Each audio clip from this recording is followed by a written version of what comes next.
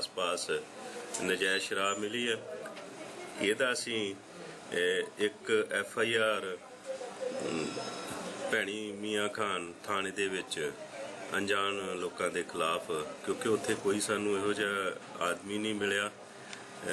ਉਹ ਦਰਿਆ ਦਾ ਇਲਾਕਾ, ਮੰਡ ਦਾ ਇਲਾਕਾ ਹੈ ਤੇ ਉਹਨਾਂ ਦੇ ਖਿਲਾਫ ਅਸੀਂ ਇੱਕ ਐਫ ਆਈ ਆਰ ਦਰਜ ਕਰਾਈ ਕਿੰਨੀ ਕੁ ਟੀਮ ਗਈ ਸੀ ਔਰ ਕੀ ਇਨਫੋਰਮੇਸ਼ਨ ਸੀ?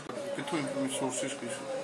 ਸਾਡੀ ਕੋਈ ਅਹ, 60 ਤੋਂ 70 ਬੰਦਿਆਂ ਦੀ ਇੱਕ ਟੀਮ ਗਈ ਸੀਗੀ ਔਰ ਸਾਡੀ ਆਪਣੀ ਅਸੀਂ ਲੋਕਲ ਇਨਪੁਟ ਲੈ ਕੇ ਇਨਫੋਰਮੇਸ਼ਨ ਲੈ ਕੇ ਕਿ ਚੋਣਾਂ ਦੇ ਟਾਈਮ ਦੇ ਉੱਤੇ ਚੋਣਾਂ ਦੇ ਵਿੱਚ ਵਰਤਣ ਦੇ ਲਈ ਇੱਥੇ ਸ਼ਰਾਬ ਬਣ ਰਹੀ ਹੈ ਤੇ ਇਹ ਸਾਡੀ ਇੱਕ ਟੀਮ ਗਈ ਸੀਗੀ। ਅਸੀਂ ਇਹਦੀ ਬਕਾਇਦਾ ਪਲੈਨਿੰਗ ਕੀਤੀ ਸੀ ਲੋਕਲ ਸੀਆਈ ਸਟਾਫ ਨਾਲ ਮਿਲ ਕੇ ਤੇ ਉਸ ਤੋਂ ਬਾਅਦ ਇਸ ਆਪਰੇਸ਼ਨ ਨੂੰ ਅੰਜਾਮ ਦਿੱਤਾ ਪਰਪਸ ਤੁਸੀਂ ਕੀ ਸਮਝਦੇ ਹੋ ਏਡੀ ਵੱਡੀ ਮਾਤਰਾ ਚ ਇੰਨਾ ਮਟੀਰੀਅਲ ਮਿਲਣਾ ਕੀ ਪਰਪਸ ਹੋ ਸਕਦਾ ਅਹ ਮੈਂ ਪਹਿਲਾਂ ਦੱਸਿਆ ਕਿ ਅਹ ਸਾਨੂੰ ਇਹ ਇਨਫੋਰਮੇਸ਼ਨ ਮਿਲੀ ਸੀ ਕਿ ਇਹ ਜਿਹੜੀ ਸ਼ਰਾਬ ਹੈ ਚੋਣਾਂ ਵਿੱਚ ਵਰਤੀ ਜਾਵੇਗੀ गुजरात के खेड़ा जिले के डकौर शहर में भवंस कॉलेज के मैदान में खेड़ा सांसद देपू सिंह चौहान और जिला पंचायत के प्रमुख जयंती भाई की अध्यक्षता में अंतर्राष्ट्रीय पतंग उत्सव मनाया गया। आपको बता दें कि इस प्रसंग में आकाश में रंग बिरंगे फुग्गे छोड़े गए और इस त्योहार का लुफ्त उठाया गया। चुनाव की प्रक्रिया को शांतमय तरीके से पूरा करवाने के लिए जालंधर जोन में सुरक्षा के पुख्ता प्रबंध किए गए हैं। ये बात आईजी जालंधर जोन एल के यादव ने की। उन्होंने कहा कि जोन के छह जिलों में पोलिंग बूथों पर पैरामिलिट्री फोर्स तैनात की गई है और किसी भी अप्रिय घटना को रोकने के लिए फोर्स हर समय तैयार है। जालंधर आईजी जोन एल के यादव ने बताया कि जालंधर जोन में छह ज़िले पड़ते हैं, जिसमें जालंधर, कपूरथला, नवाशहर, होशियारपुर, लुधियाना, खन्ना आते हैं। और इनमें 25 विधानसभा क्षेत्र हैं। आपको बता दें कि इन विधानसभा क्षेत्रों में 5,138 पोलिंग बूथ हैं और सुरक्षा की नज़र से इन बूथों पर पंजाब पुलिस के करीबन 9,000 कर्मचारी तैनात किए गए हैं और करीबन पचानवे अर्धसैनिक बलों की कंपनियाँ सुरक्षा के लिहाज से लगाई जाएँगी ताकि चुनाव प्रक्रिया शांतमय तरीके से करवाई जा सके। आपको बता दें कि चुनाव में विघ्न डालने वालों को असामाजिक तत्वों और केसों में आरोपी भगोड़ों को हिरासत में लेने के लिए कार्यवाही शुरू कर दी गई है। लोगों को हथियार जमा करवाने के लिए कहा गया है ताकि चुनाव में कोई भी विघ्न ना पड़े। आईजी जोन जलंधर के एरिया में हमारे छः ज़िले आते हैं।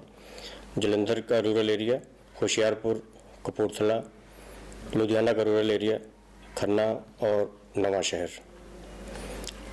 इन छः ज़िले में हमारी 25 असेंबली कॉन्स्टिट्यूंसीज कवर होती हैं और इस 25 असेंबली कॉन्स्टिट्यूंसी में पाँच हज़ार एक सौ अड़तीस पोलिंग बूथ हैं। और पाँच हज़ार एक सौ अड़तीस में से एक हज़ार सौ पंचानवे आज की डेट में वल्नरेबल के तौर पर काउंट किए गए हैं। लेकिन वल्नरेबिलिटी एक डायनेमिक कॉन्सेप्ट है तो ये प्रोसेस अभी चल रहा है तो ये संख्या अभी बढ़ भी सकती है। जम्मू में माता वैष्णो देवी के दर्शनों को जहाँ हज़ारों की संख्या में भक्तजन माता के दर्शन करने आते हैं, वहीं कुछ लोग किन्हीं कारणवश बीमार भी हो जाते हैं।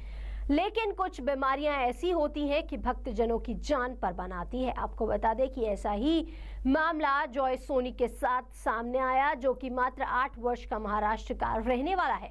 आइए डालते हैं इस पर एक विशेष आपको बता दें कि जॉय अपने माता पिता के साथ वैष्णो देवी के दर्शन के लिए कटरा पहुँचे तो पेट में दर्द की शिकायत की। और कटरा से सरकारी अस्पताल में इलाज के लिए ले जाया गया। लेकिन किन्हीं कारणवश उसे वैष्णो देवी श्राइन बोर्ड के नारायण अस्पताल में उच्च स्तरीय इलाज के लिए भेजना पड़ा। आपको बता दें कि लेकिन मल्टी स्पेशलिटी अस्पताल में जब उसके कई तरह के टेस्ट किए गए तो मालूम हुआ कि उसकी छोटी आंतरी काफ़ी मात्रा में गल चुकी थी, जिनकी वजह से जॉय को जान का खतरा भी था। जिसकी वजह से उसका ऑपरेशन करना निहायत ही ज़रूरी था। आपको बता दें कि डॉक्टरों की टीम ने आखिर जॉय का ऑपरेशन कर उसकी जान बचा ही ली। वहीं जॉय अपने माता पिता के साथ सुखमय जीवन व्यतीत कर रहा है। वहीं जब इस विषय पर डॉक्टर से बातचीत की गई तो डॉक्टर मनोज गुप्ता, जिन्होंने जॉय का ऑपरेशन किया, उनका कहना था कि इस तरह की बीमारी बहुत ही कम लोगों में पाई जाती है, लेकिन जो लोग इस तरह की बीमारी से ग्रस्त होते हैं, उनका इलाज करना बहुत मुश्किल हो जाता है, क्योंकि इस बीमारी के बारे में बहुत ही कम लोगों को पता होता है और इस बीमारी का पता भी उस समय लगता है जब बहुत ज़्यादा नुकसान शरीर को हो चुका होता है। परेशानी ये थी कि उस माता का दर्शन करते आते समय उसका पेट दुख रहा था। पेट दुखने के बाद हमने पहले वो प्राइवेट गवर्नमेंट हॉस्पिटल है जम्मू में। यही कटरा में। तो वहाँ उसका तबीयत ठीक नहीं हुआ तो यहाँ आए। हमें यहाँ आठ से दस दिन रहना पड़ा। डॉक्टर साहब का कहना है कि दस, आधे घंटे में इसका ऑपरेट करना पड़ेगा। दूसरा इससे इलाज नहीं है। तो तुरंत डॉक्टर मनोज गुप्ता सर ने उसको ऑपरेट को लिए। हमारे परमिशन लेके उन्होंने उसको ऑपरेट को ली बाकी यहाँ पर कोई भी दिक्कत मतलब कोई दिक्कत नहीं आई। ये एक इंटरनल हर्निया एक कारण होता है आंतों में रुकावट का, जो कि एक बहुत ही रेयर कंडीशन है, बहुत कम मरीजों में पाई जाती है। अगर हम 100 मरीज़ देखते हैं इंटेस्टिनल ऑब्स्ट्रक्शन के तो उसमें लेस देन 5 परसेंट पेशेंट्स में ये इंटरनल हर्निया पाया जाता है। तो ये बच्चा हमें एक एक टाइप है इंटरनल हर्निया की, जिसे हम ट्रांसमिजेंट्रिक इंटरनल हर्निएशन बोलते हैं, उससे प्रेजेंट किया था। ये ऑब्स्ट्रक्शन के साथ आया था। साथ में जब हमने इसका सीटी स्कैन कराया तो इसमें गैंग्रीन था। इसके स्मॉल इंटेस्टीन में गैंग्रीन था।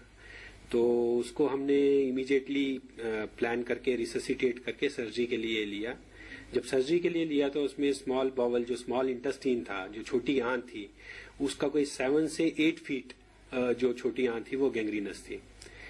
तो उसको हमने गैंग्रीनस पोर्शन को काट के और बाकी दो पोर्शंस जो नॉर्मल हेल्दी पोर्शंस थे छोटी आंत के, उनको आपस में जोड़ दिया था।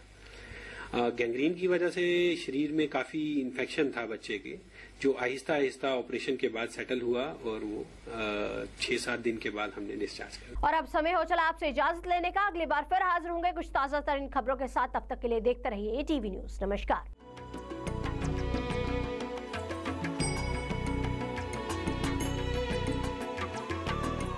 सर्वधर्म संगम धर्म के सच्चे प्रहरी।